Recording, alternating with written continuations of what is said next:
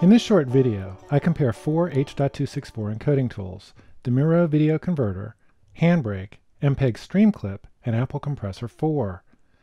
During my tests, I considered suitability for encoding for iDevices, compressing interlaced SD footage like that ripped from a DVD, and freeform encoding for general purpose use.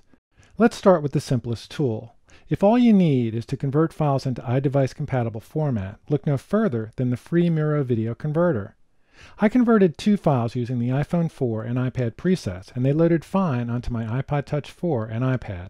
Performance was pretty snappy too, with Miro converting my 93 second 720p test file for the iPad in 55 seconds. I like that Miro converted my file to 1024 by 576, since the iPad has only 1024 horizontal pixels in landscape mode, but Miro was a mite thrifty when it came to data rate, encoding at 1.3 megabits per second, compared to Handbrake, which encoded at 2.8 megabits per second at the same resolution.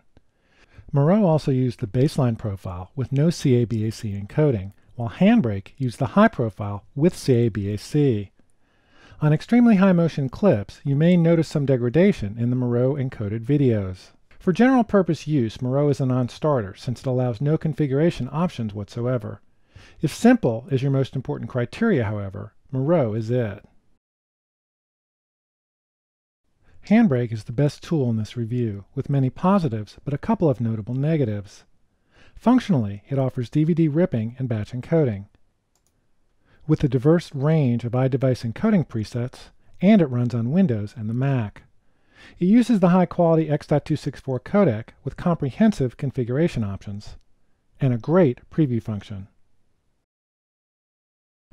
In my tests, Handbrake produced the benchmark iPad file in 39 seconds, the fastest in the review, and the iPad and the iPod Touch files played without problem on these two devices. SD and HD encoding quality rivaled that produced by much more expensive commercial tools.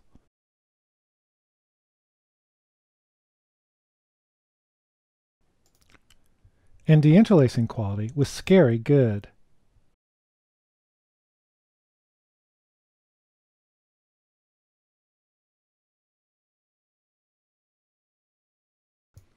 What are the negatives? The program's interface can feel disjointed, with resolution controls completely separate from encoding controls, and Handbrake crashed several times during my tests, though it completed all tasks. And it only produces H.264 files, so had limited use as a general purpose encoder. Overall though, for H.264 encoding, Handbrake is a winner.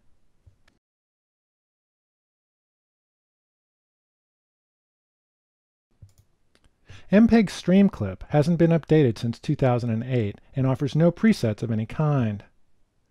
On the plus side, it's one of the few tools I've seen that can trim an H.264 clip without re-encoding, and it can output to DV, AVI, QuickTime, MPEG-4, including H.264, in any QuickTime compatible format installed on your system.